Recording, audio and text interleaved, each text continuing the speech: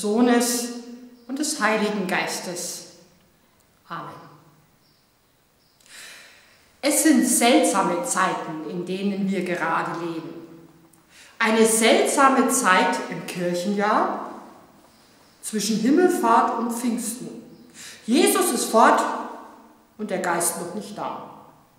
Seltsame Zeiten aber auch so im ganz Alltäglichen, wo es den einen nicht schnell genug geht mit den Lockerungen und andere ängstlich fragen, ob das denn wohl gut geht. Ja, seltsame Zeiten, Zwischenzeiten. Und genau darum soll es heute nun auch in diesem Gottesdienst gehen. Und dazu segnen nun Gott, der Herr, uns und er segne diesen Gottesdienst nach dem Reichtum seiner Gnade. Amen.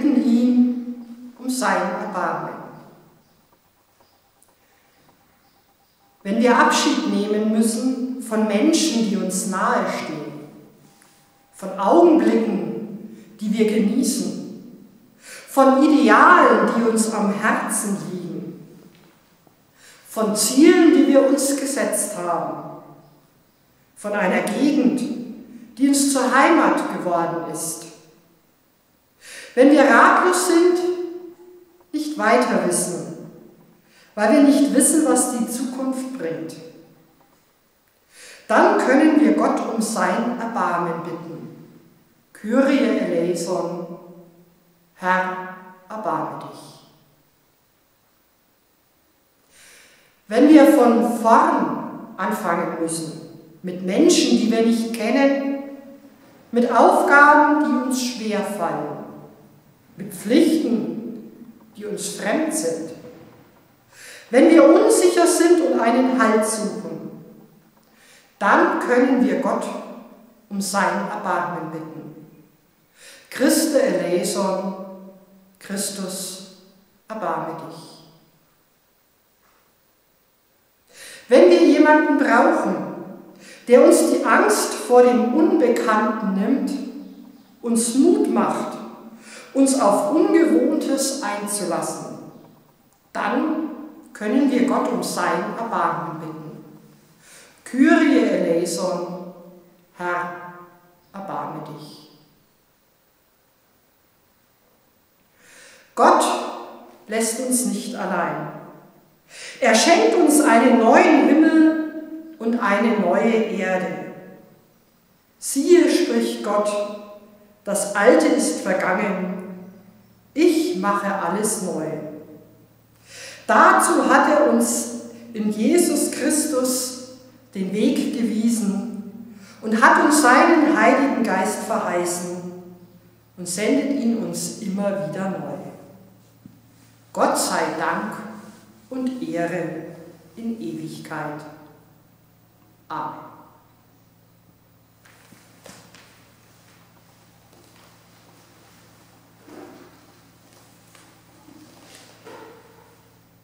Das Evangelium für diesen Sonntag ex Audi lesen wir bei Johannes im 16. Kapitel. Jesus sprach zu seinen Jüngern, Jetzt gehe ich hin zu dem, der mich gesandt hat. Und niemand von euch fragt mich, wo gehst du hin? Doch weil ich dies zu euch geredet habe, ist euer Herz voll Trauer. Aber ich sage euch die Wahrheit. Es ist gut für euch, dass ich weggehe, denn wenn ich nicht weggehe, kommt der Tröster nicht zu euch. Wenn ich aber gehe, werde ich ihn zu euch senden. Und wenn er kommt, wird er der Welt die Augen auftun über die Sünde und über die Gerechtigkeit und über das Gericht. Über die Sünde, dass sie nicht an mich glauben. Über die Gerechtigkeit, dass ich zum Vater gehe und ihr mich hinfort nicht seht über das Gericht, dass der Fürst dieser Welt gerichtet ist. Ich habe euch noch viel zu sagen, aber ihr könnt es jetzt nicht ertragen. Wenn aber jener kommt, der Geist der Wahrheit, wird er euch in aller Wahrheit leiten. Denn er wird nicht aus sich selbst reden, sondern was er hören wird, das wird er reden. Und was zukünftig ist, wird er euch verkündigen. Er wird mich verherrlichen, denn von den meinen wird er es nehmen und euch verkündigen. Alles, was der Vater hat, das ist mein. Darum habe ich gesagt, er nimmt es von dem meinen und wird es euch verkündigen. Soweit die Worte der Heiligen Schrift. Der Herr segne sein Wort an uns allen. Amen. Gemeinsam bekennen wir unseren Glauben. Ich glaube an Gott, den Vater, den Allmächtigen, den Schöpfer des Himmels und der Erde, und an Jesus Christus, seinen eingeborenen Sohn, unseren Herrn, empfangen durch den Heiligen Geist, geboren von der Jungfrau Maria, gelitten unter Pontius Pilatus, gekreuzigt, gestorben und begraben, hinabgestiegen in das Reich des Todes, am dritten Tage auferstanden von den Toten aufgefahren in den Himmel. Er sitzt zur Rechten Gottes, des allmächtigen Vaters. Von dort wird er kommen zu richten die Lebenden und die Toten. Ich glaube an den Heiligen Geist, Gemeinschaft der Heiligen, Vergebung der Sünden, Auferstehung der Toten und das ewige Leben. Amen. gesagt,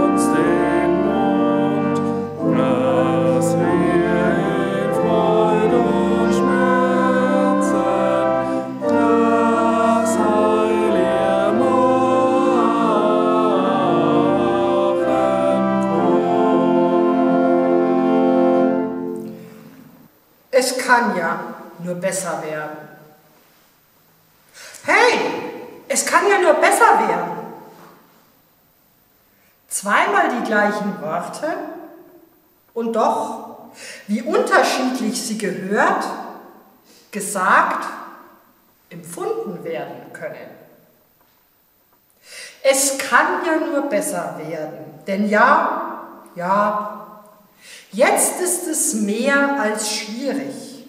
Es ist ungewiss, beängstigend, um nicht zu sagen schlecht. Und was die Zukunft bringt? Eigentlich kann es ja nur besser werden. Aber ist es wirklich so? Wird es besser? Gibt es da Hoffnung? Oder bleibt es dunkel und aussichtslos? Liebe Gemeinde, ja, zweimal die gleichen Worte. Und wie heißt es so schön? Zwei Seelen schlagen da, ach, in meiner Brust weil es oft genug so eine Art innerer Kampf ist. Ein mit sich selber ringen beim Blick in die Zukunft. Es kann doch nur besser werden. Kann es? Wird es? Mal ein Blick voller Zweifel und doch dann wieder ein Blick voller Hoffnung. weil der Silberstreifen am Horizont zu sehen ist. Ein Wechselbad der Gefühle, das wohl die meisten von uns auch schon mal selbst durchgemacht haben. Dieses Schwanken zwischen Resignation und Zuversicht. Erich Kästner beschreibt so ein Schwanken ganz wunderbar lapidar mit seinen Worten. Wird's besser, wird's schlechter? Fragen wir jährlich. Seien wir ehrlich, Leben ist immer lebensgefährlich. Ob das auch die Situation der Israeliten damals war? Als sie damals die Worte zum ersten Mal hörten, einen Zuspruch Gottes, Worte, die sie durch den Mund des Propheten Jeremia zu hören bekamen, Worte unseres heutigen Predigttextes. Ich lese Ihnen aus Jeremia 31. Siehe, es kommt die Zeit, spricht der Herr, da will ich mit dem Hause Israel und mit dem Hause Juda einen neuen Bund schließen. Nicht wie der Bund gewesen ist, den ich mit ihren Vätern schloss, als ich sie bei der Hand nahm, um sie aus Ägyptenland zu führen. Mein Bund, den sie gebrochen haben, ob ich gleich ihr Herr war, spricht der Herr sondern das soll der Bund sein, den ich mit dem Hause Israel schließen will, nach dieser Zeit, spricht der Herr. Ich will mein Gesetz in ihr Herz geben und in ihren Sinn schreiben, und sie sollen mein Volk sein, und ich will ihr Gott sein. Und es wird keiner den anderen, noch ein Bruder dem anderen lehren und sagen, erkenne den Herrn, denn sie sollen mich alle erkennen, beide, klein und groß, spricht der Herr. Denn ich will ihnen ihre Missetat vergeben und ihrer Sünde nimmermehr gedenken.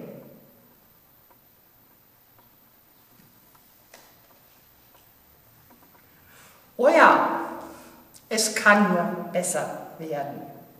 Denn so hat es Jeremia ja zuvor verkündigt. Der Untergang wird kommen. Die Zerstörung Jerusalems und des Tempels. Die Gefangenschaft und das Exil. Aber eben auch das wird ein Ende haben. Und ja, es wird furchtbar sein. Aber es wird eben auch ein Ende haben. Und ja, es wird besser werden. Besser sogar noch als damals. Damals, als Gott das Volk aus der Gefangenschaft in Ägypten befreit hat. Und dann eben, dann, dann wird das Wort Gottes nicht einfach nur tote Buchstaben in ein paar Schriftrollen sein sondern sein Wort, sein Gesetz wird im Herzen und im Sinn der Menschen verankert sein. Und sie sollen mein Volk sein und ich will ihr Gott sein. Ja, es gibt eine Zukunft. Ob die Menschen das damals hören wollten, hören konnten, oder ob sie geschwankt sind zwischen der Angst und der Zuversicht. Sicher, vieles wollten sie auch gar nicht hören und haben die Mahnungen des Propheten abgetan als übertriebene Warnungen eines ängstlichen Spinners.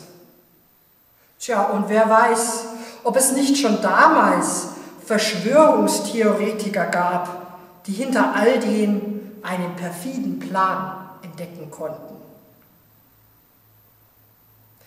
Ein Wechselbad der Gefühle.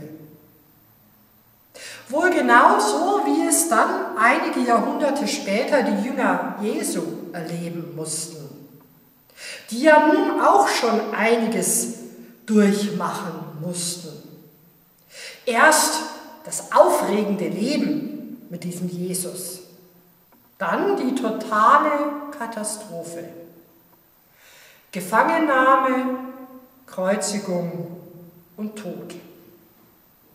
Aber dann doch die Erkenntnis, er lebt. Der Herr ist auferstanden. Ja, und wie wunderbar hätte nun alles werden können. Nur, jetzt ist er wieder fort. Weg, gen Himmel gefahren. Und ja, auch hier ein Wechselbad der Gefühle. Denn er hatte ihnen zwar verheißen, dass dieser Geist kommen soll, der Tröster, wie ihn Jesus vorhin im Evangelium genannt hat. Aber wird es dann wirklich besser werden? Werden sich dann die Worte des Propheten Jeremia von damals, wie eben auch die Verheißungen Jesu erfüllen? dass die Botschaft eben nicht nur Worte sind, sondern dass sie lebendig werden in Herzen und Sinnen. Und ja, ja, liebe Gemeinde, nun auch ein Wechselbad der Gefühle heute, wo die Zukunft wieder so ungewiss ist, wo die Erleichterung einerseits groß ist weil es besser zu werden scheint, aber trotzdem da hinten im Hinterkopf sich immer wieder leise die Stimme meldet und fragt, kann das gut gehen? Und war es nun nur ängstliche Hysterie? Oder wenn die Ärzte und Wissenschaftler doch recht haben, bleibt dann die Gefahr nicht bestehen? Und eben genau in dieses Wechselbad der Gefühle hinein hören wir nun heute diese Worte des Propheten Jeremia, der zwar die totale Katastrophe ankündigt und doch gleichzeitig dabei bleibt, ihr habt eine Zukunft. Denn siehe, es kommt die Zeit, spricht der Herr, da will ich einen neuen Bund schließen und sie alle sollen mich erkennen, beide, klein und groß, spricht der Herr. Ja, und dann erinnern wir uns gerade jetzt, mitten in diesem Wechselbad der Gefühle, an diese seltsame Zwischenzeit, die die Jünger damals erleben mussten, als Jesus schon weg war, aber der Geist noch nicht da zwischen Himmelfahrt und Pfingsten. Und wir feiern diesen Sonntag mit diesem bezeichnenden Namen Ex Audi, zu Deutsch höre, weil es im Wochenpsalm Psalm 27 heißt, höre Herr meine Stimme, wenn ich rufe. Eine Bitte also an Gott, er möge uns hören und sehen und für uns da sein. Aber eben genau in diesem Wechselbad der Gefühle wechselt wohl auch dieses Hören. Hören, das wird dann von der Bitte an Gott auch zu einer Erinnerung an uns selbst, dass auch wir hören sollen und müssen. Jedenfalls, wenn sich die Verheißungen und Zusagen Gottes erfüllen sollen. Und wenn das Wort Gottes lebendig werden soll in unserem Herz und in unserem Sinn. Eben weil Gott sein Gesetz in unser Herz geben will und es in unsere Sinne schreiben will.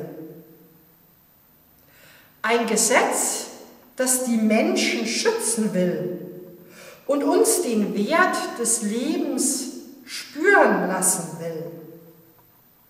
und das Jesus dann eben schließlich im höchsten und größten Gebot zusammengefasst hat, im Doppelgebot der Liebe. Und so werden wir der Liebe Gottes versichert, aber eben gleichzeitig daran erinnert, dass aus der Gottesliebe die Nächstenliebe resultiert. Und die eben, die jammert nicht nur darüber, was mir nun alles verwehrt bleibt oder worauf ich nun, ach wie schrecklich, alles verzichten muss, sondern sie erinnert mich daran, wo ich verzichte, um den anderen, den Nächsten zu schützen. Ex audi, höre, ein Wechselbad auch hier. Denn so wie es eine Bitte an Gott ist, so ist es eben auch umgekehrt eine Erinnerung für uns selbst. Höre, weil aus diesem Hören Hoffnung entstehen kann und aus der Hoffnung Zuversicht. Und aus der Zuversicht erwächst die Zukunft. Eine Zukunft, die Gott uns verheißen hat. Damals schon mit den Worten aus dem Mund des Propheten. Eine Zukunft, die unumstößlich da ist und uns offen steht. Seit Jesus für uns diesen Weg ans Kreuz und durch den Tod hindurch in die Auferstehung gegangen ist.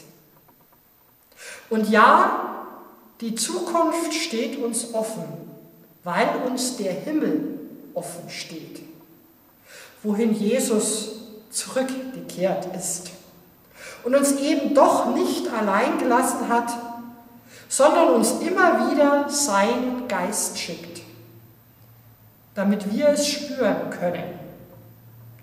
Wo der Himmel offen steht, da ist Zukunft. Zukunft selbst in den dunklen und schweren Momenten. Ja, Zukunft sogar da, wo Leid und Sterben immer noch allgegenwärtig sind.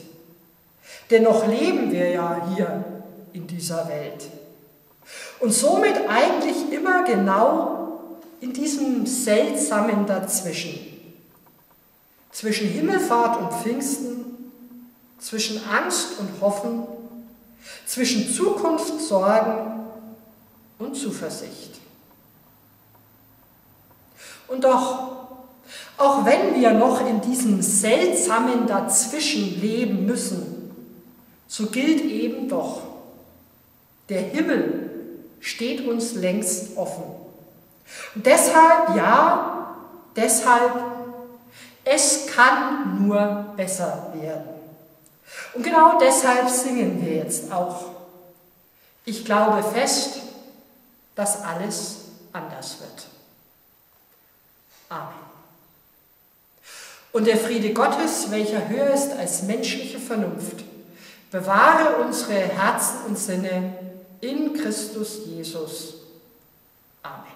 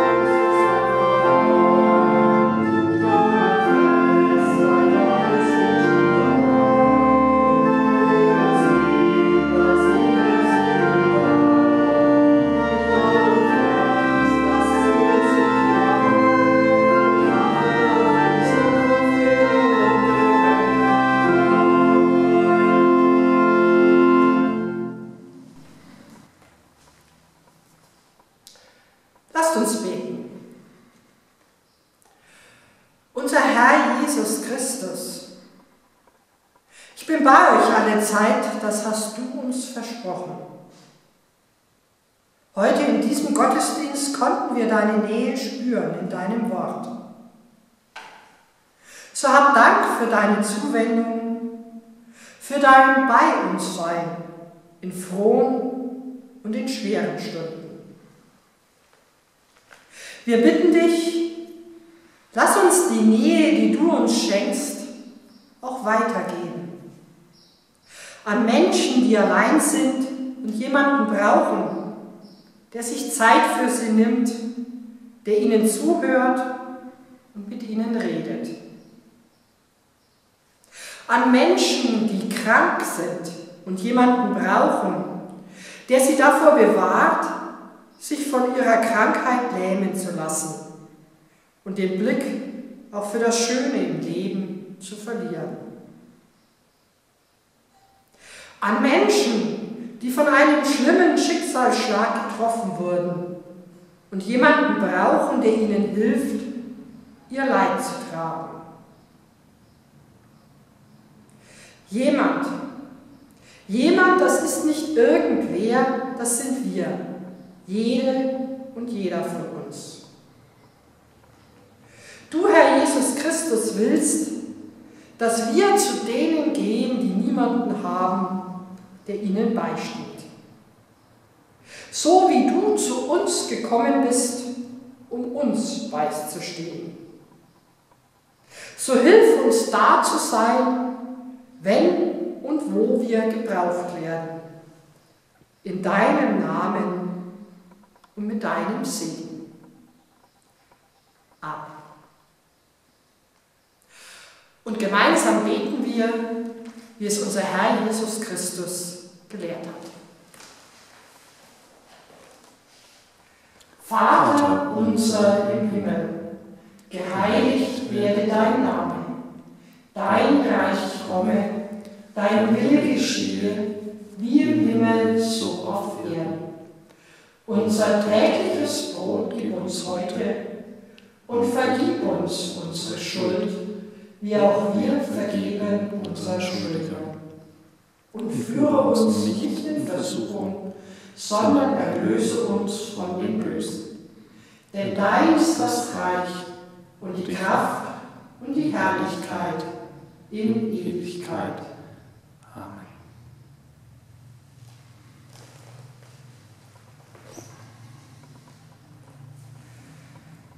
Der Herr segne euch und er behüte euch. Der Herr lasse leuchten sein Angesicht über euch und sei euch gnädig. Der Herr erhebe sein Angesicht auf euch und er schenke euch seinen Frieden. Amen.